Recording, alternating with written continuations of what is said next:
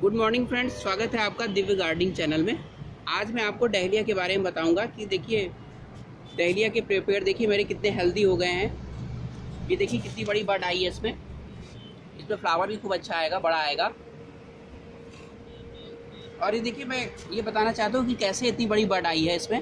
ये देखिए, जैसे कि ये फॉर एग्ज़ाम्पल ये मेरा प्लांट है तो इसमें आपको क्या करना है कि ये जो साइड की जो भी जितनी भी कलियाँ हैं, ये आपको तोड़ देनी होगी। साइड की जितनी भी कलियाँ हैं और ये बडिंग जो आ रही है, इसके साथ जो जो ये अखुए हैं, ये सब आपको तोड़ देने होंगे। उससे क्या होगा कि एक सिंगल कली को ही पावर मिलेगा और उससे आपकी कली बड़ी होगी। जैसे कि ये देख लीजिए, दूसरा एक और प्लांट है। इसमें भी देखिए किनारे दो कलियाँ आ गई हैं तो इनको आपको तोड़ देना होगा। और नीचे की भी जो बर्ड्स हैं, उनको भी आपको तोड़ना होगा, ताकि पूरी पावर उसी को मिले मेन बर्ड को। उससे क्या होगा कि ये बड बड़ी आएगी और फूल जो है छोटे पेड़ में ही बहुत बड़ा फूल आएगा।